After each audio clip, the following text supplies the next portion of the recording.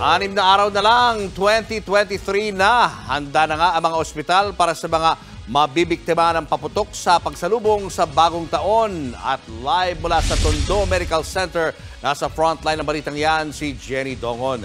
Jenny, kumusta naman ang paghahanda sa emergency room dyan?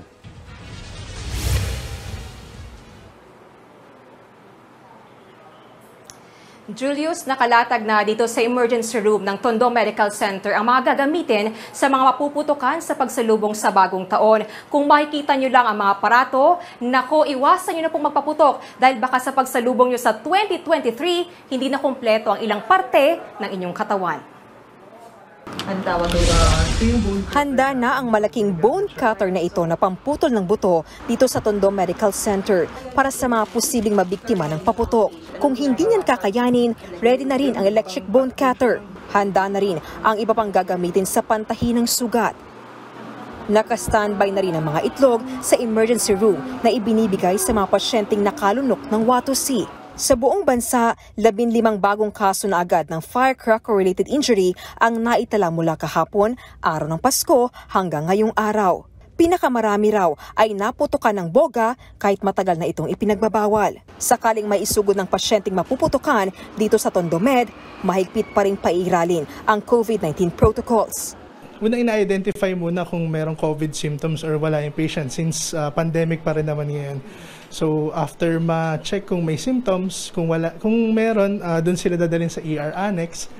Pero kung wala, dito natin dadalhin sa uh, emergency room natin.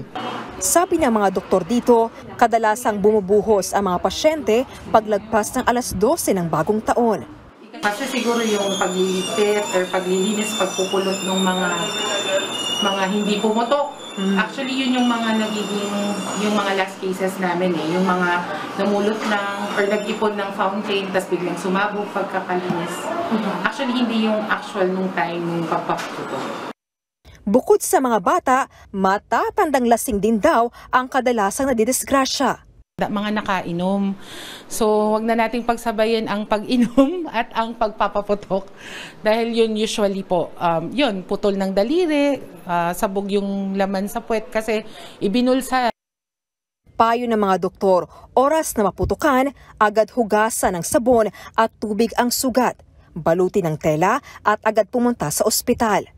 Para naman maiwasan ang pagdami ng mga mapuputukan sa pagsalubong sa 2023, naglabas ng executive order ang Quezon City na nagbabawal sa pagbebenta at paggamit ng paputok sa mga residente. Papayagan lang paputok o fireworks display sa mga pampublikong lugar.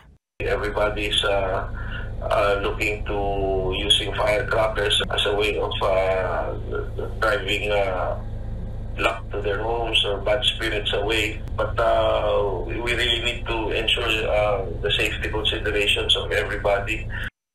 Limang libong piso ang multa o isang taong pagkakakulong ang parusa sa mga mahuhuling lalabag. Pabor naman dito ang ilang taga-QC.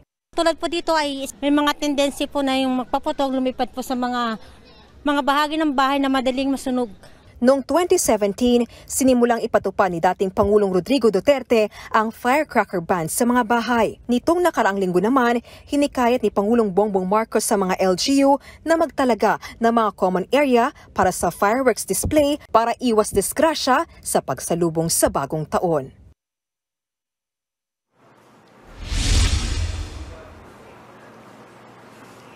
Julius, sa December 30, ililipat itong mga aparato na ito doon sa kanilang outpatient area na mas malaki para hindi maghalo-halo yung kanilang mga pasyente. Ipakita pa natin, Julius, no, yung iba pang mga um, cutting equipment na gagamitin ng ating mga doktor. Isa na dito, itong uh, kanilang wire saw. Maliit lamang ito, pero nakakaputol po ito ng buto. Kung hindi naman kakayanin ng kanilang wire saw, meron silang medyo maliit na bone cutter. Kung hindi pa rin kakayanin itong bone cutter na ito, itong malaking bersyon.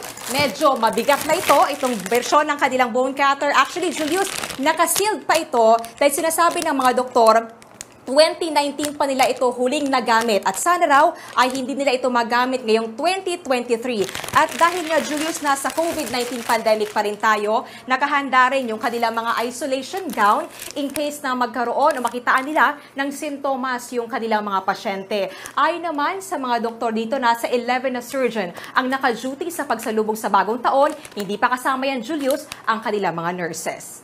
Julius. Kakatakot naman yan, Jenny. Pero kapag ang daliri ba, eh, medyo buo pa. Matapos maputukan, pwede pa bang ibalik yun?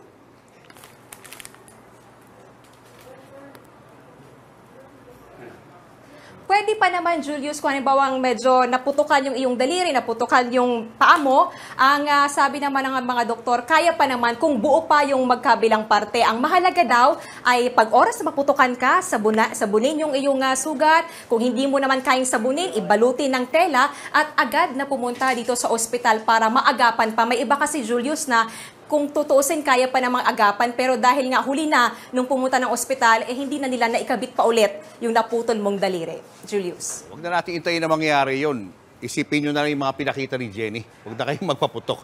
Maraming salamat, Jenny Dongon.